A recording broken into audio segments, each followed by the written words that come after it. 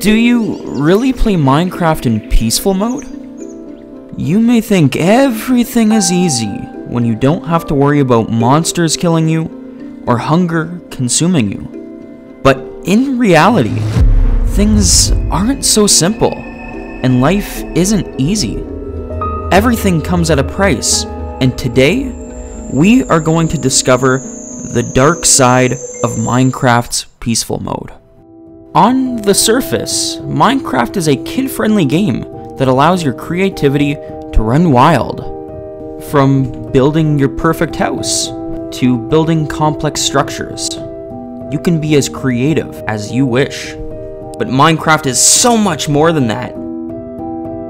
On easy, normal, and hard modes, there is imminent danger around every corner, which is just not the case in peaceful mode.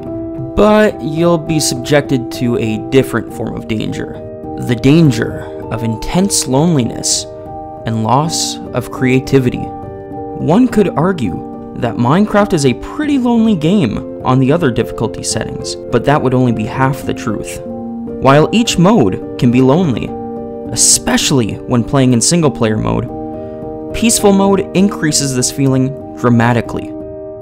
The calmness of land and sea, the sense of community between villagers, and the pride of building your first home.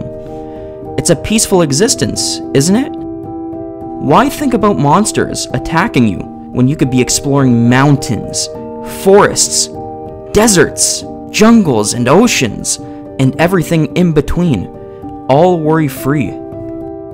But what if I were to tell you that everything you've done in peaceful mode was all for nothing?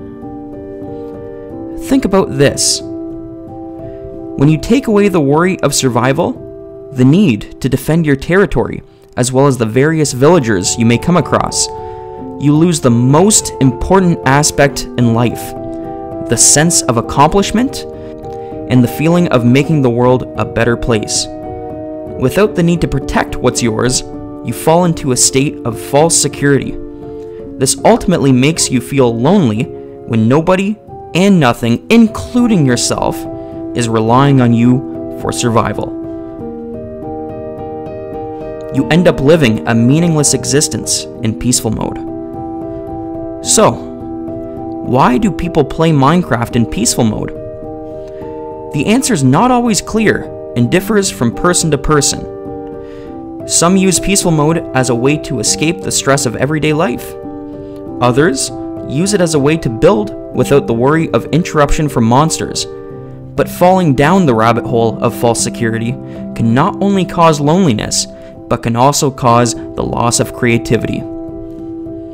To feel accomplished is to work towards something meaningful. How can a structure be meaningful if there was no obstacles preventing the creation of it? Or the need to protect it from danger?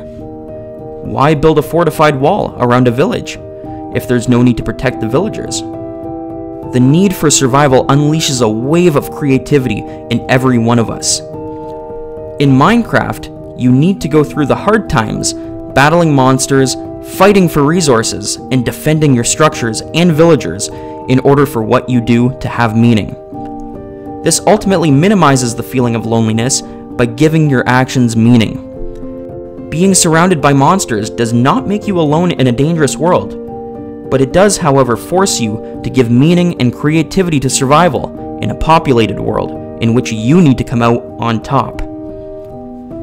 When there is meaning behind everything you do, how can you be lonely?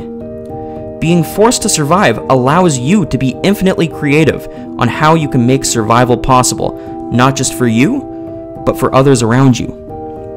You are the hero of this world. It's time to start living like one.